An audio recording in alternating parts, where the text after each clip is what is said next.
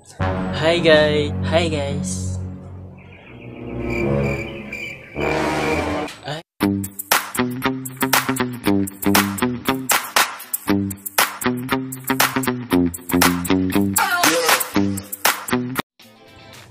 So hi guys, welcome to my first ever video vlog. At this video is just a short explanation about who am I, why I'm doing this, and what can you expect to my YouTube channel. Number 1. My name is Hector Valoria, 21 years old, turning 22 this October, from Alicato, Las Nieves, Agusan del Norte. I currently studied BE Ed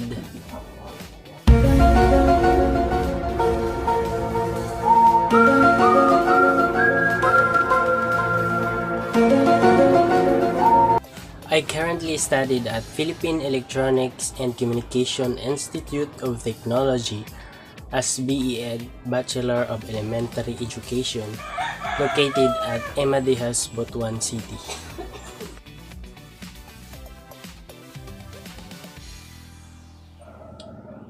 My hobbies are taking a selfie, singing, cooking, and finding uh, paying apps for extra earning money.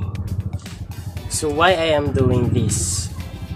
I am doing this dahil gusto ko. Gusto kong i-express ang sarili ko.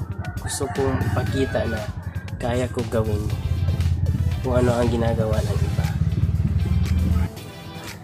Hindi man ako hindi man gaano ako kagaling humarap sa camera pero sinusubukan ko lang.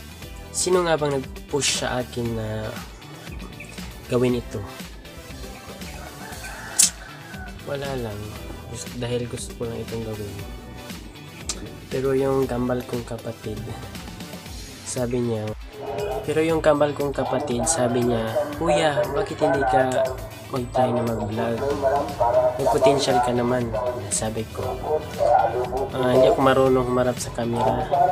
Hindi rin ako marunong mag-edit. Tapos,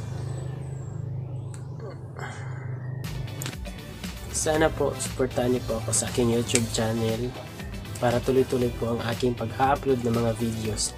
Try ko rin na mag gumawa ng mga nakakatawang videos.